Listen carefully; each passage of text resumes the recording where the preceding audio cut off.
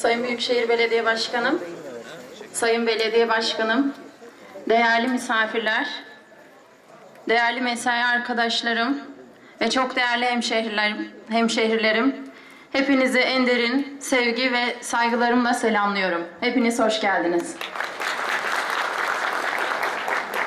Yazıhan Kaymakamlığı ve Yazıhan Belediyesi olarak Yazıhan'ın tarihinde bir ilki gerçekleştirme gururuna bizler nail olmuş olduk. Bu gururu bizlerle paylaşan yüzlerce Yazıhanlılara da teşekkürlerimi öncelikle iletmek istiyorum. Yazıhan Kaymakamlığı ve Yazıhan Belediyesi'nin ortaklaşa düzenlemiş olduğu hayırseverlerin katkılarıyla taşlanan ve bugün sonuncusunu, yedincisini düzenlediğimiz Yazıhan merkezdeki iftarımızda hep birlikteyiz, hep bir aradayız.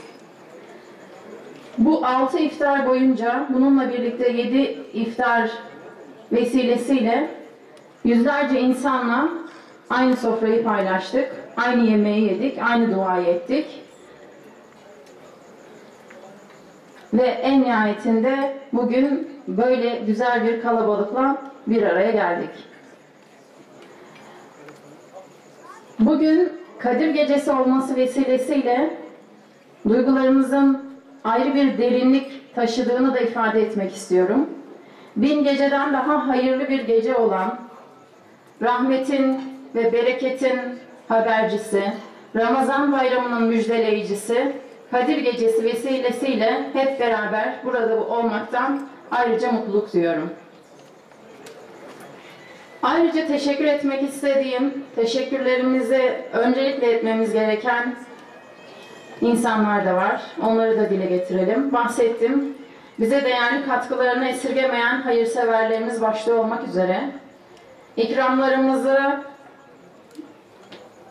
el emeği döken, alın teri döken aşçılarımıza, bu ikramların sunulmasına katkıda bulunan, sunumda hizmet eden belediye çalışanlarımıza, sosyal yardımlaşma ve dayanışma vakfı çalışanlarımıza ayrıca teşekkürlerimi iletiyorum.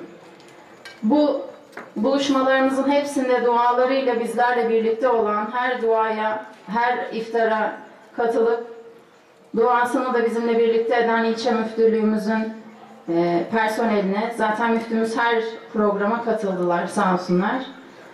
Müftümüz olmak üzere müftülük personelimize de ayrıca teşekkürlerimi iletmek istiyorum.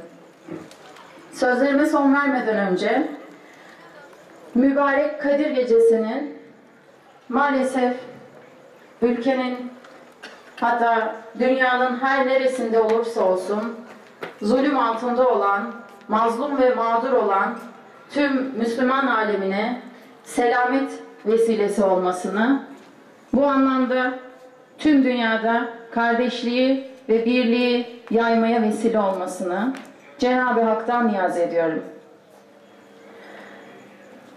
Ve yine son olarak diyelim, Ramazan bayramının sağlık ve afiyet içerisinde huzurla ve bereketle karşılanması ümidiyle hepinizi saygıyla, sevgiyle selamlıyorum.